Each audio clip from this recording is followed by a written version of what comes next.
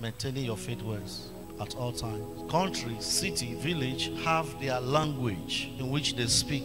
The kingdom of God also, we have language. And that language is faith. It's not a language you speak only when things are good.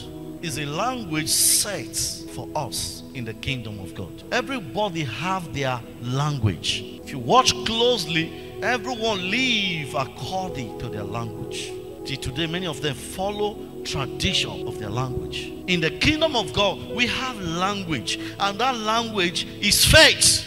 If you want to keep enjoying the kingdom of God, maintain the faith words. Don't allow anything to change your language easily.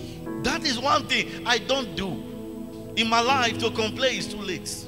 There's no need of complaining. Complain can never add anything to you. Rather, it reduces you. Am I talking to somebody? It will change your quality. It will change everything about you. Complain reduces strength. I don't know what to do in my life again. You must know what to do. God is not trying to bless you, He's not planning to bless us. God has blessed us.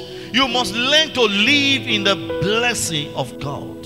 This is why many of you you will pray so much and use your words to destroy your prayer. This is why many of you will say after the hot prayer of Sunday, things did not change. It's your mouth that spoiled it. Your mouth is an instrument.